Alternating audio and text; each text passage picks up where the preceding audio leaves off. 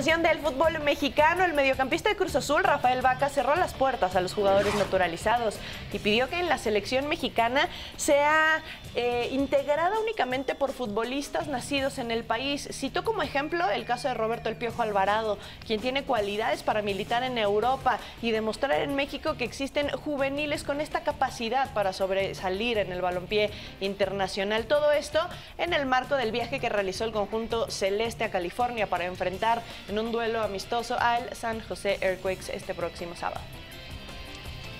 al final del día yo creo que yo respeto a, todos los jugadores que vienen del extranjero, pero al final del día creo que la selección se tiene que llenar de jugadores nacidos aquí en México. Creo que esa tiene que ser la prioridad, ¿no? Tenemos un país con mucha calidad de jugadores y creo que en cada posición por lo menos tenemos que tener dos o tres jugadores de alta calidad que puedan competir en Europa.